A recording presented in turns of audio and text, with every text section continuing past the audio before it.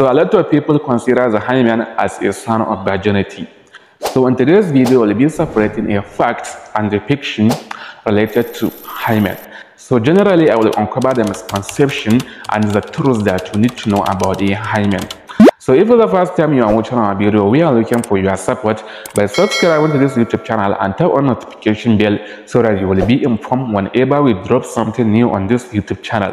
Also, if you are a new subscriber on this YouTube channel, don't forget that on this particular YouTube channel, we are creating a content on sexual health, medical care, health tips, and many more. So now without any further ado, let's get into details.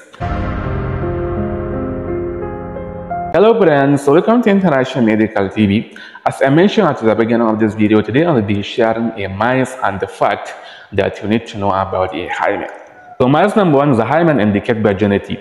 So contrary to the popular belief, the presence or absence of the hymen doesn't determine a person's virginity. So don't forget that the hymen is an elastic layer that covers a vaginal opening and it can vary in shape and in size. Also a hymen it can have a opening even without his sexual activity. So there are a lot of activities that can make a hymen have a breakage or tear like a vigorous exercise, tampon insertion, and even a normal physical activity like a walking. Fact number one is the hymen adabas. The hymen come in a different shape, size, and sometimes hymen it is thicker, less stretchy, thin, and naturally diverse. Meaning that not every person hymen will look the same. So it is important to know that the every person hymen it is unique, and it may be different from stereotypical notion. Myth number two is always hymens bleed during having a sexual intercourse for the first time. This is another common misconception, which is always hymens bleed during a having a sexual intercourse for the first time.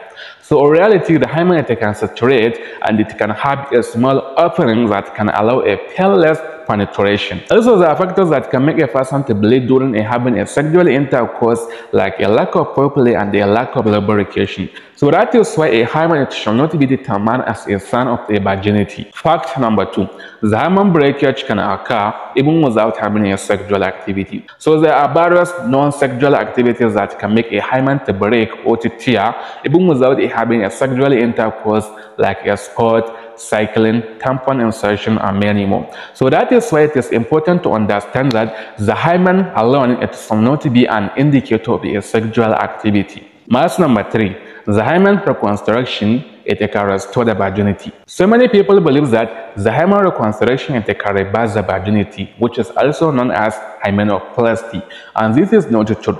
You have to understand that the virginity is a complex concept which shall not be identified by the physical state of the hymen. Fact number three, the hymen don't have a single purpose. So contrary to the popular belief, the hymen don't have a specific purpose related to virginity. So based on a small research, the hymen is solely present to protect the vaginal opening during a child development. So we hope you enjoyed this video, so kindly give it a thumbs up and consider subscribing to this YouTube channel for more insightful and educational videos. So I hope to see you on my next video.